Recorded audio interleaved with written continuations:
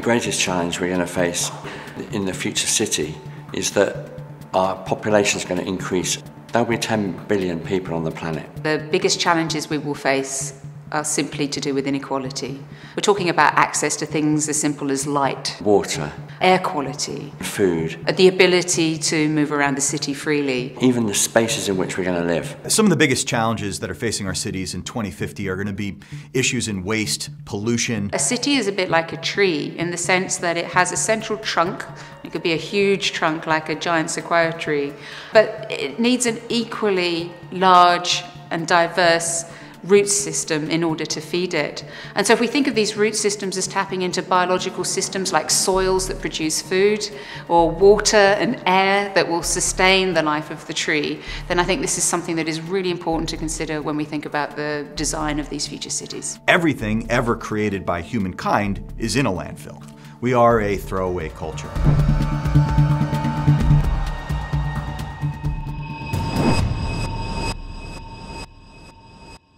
Cities and urban planners need to really appreciate the diversity of spaces within an urban environment. We will actually develop technologies that are not mechanical, that deal with geometric spaces that are all the same, but technologies that can act more like nature does and exploit the unique conditions of particular environments. And so I think that our cities will actually be more living. The real city of the future is a city that recognizes that we have a relationship to the Earth's metabolism and that we are proud not of skyscrapers, not of the kind of commerce or the success of our kind of commercial society, but we're proud of the spectacle of our relationship with the environment. I'm talking about a future city where infrastructure is absolutely as uh, technologically advanced and as connected to the Earth as possible. And we could say not only does traffic uh, uh, work in our city, but our waste streams are incredibly efficient. In fact,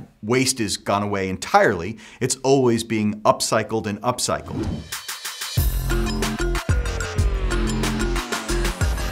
I think in the future we're going to be building with many more innovative type materials.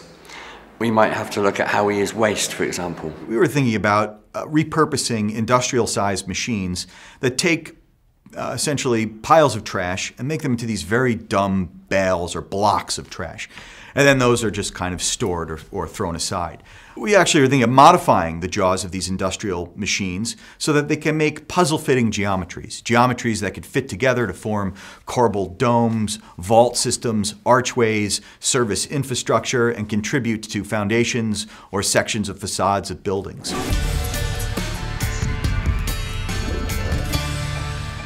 We currently rely on a very centralized power system, an energy system. That is, that we have large power stations creating the power that rely on fossil fuels. Those fossil fuels are running out. I believe we need to decentralize our power system, and that is that you locally create more power generation. And that might be on a building scale or even on a borough scale. We kind of call it energy democracy, if you like.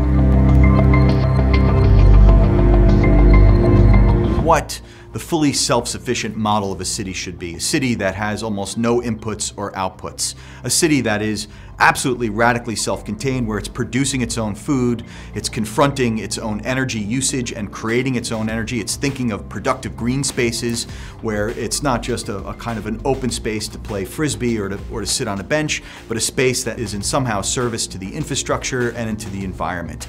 I think we're really trying to compound a whole host of different issues together, working underneath the umbrella of the environment so we can have cities that are truly sustainable and self-sufficient by 2050.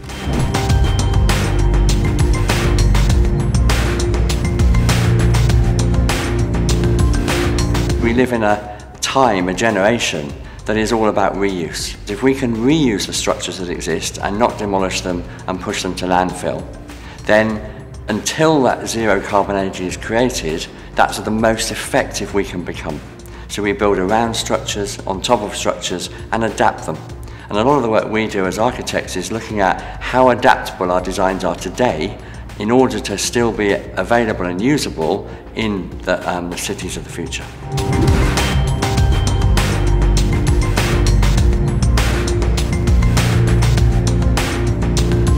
Think it would be very complacent to suggest that cities in 2050 are going to be better than the ones today. We could ameliorate and alleviate some of those inequalities by ensuring that we pay a lot of attention to infrastructures and how we get resources to people that really need them. I don't think that this is going to be globally possible. And perhaps then the greatest challenge that we face is how to keep a level of humanity within our cities that makes us feel that we can still call ourselves a civilization.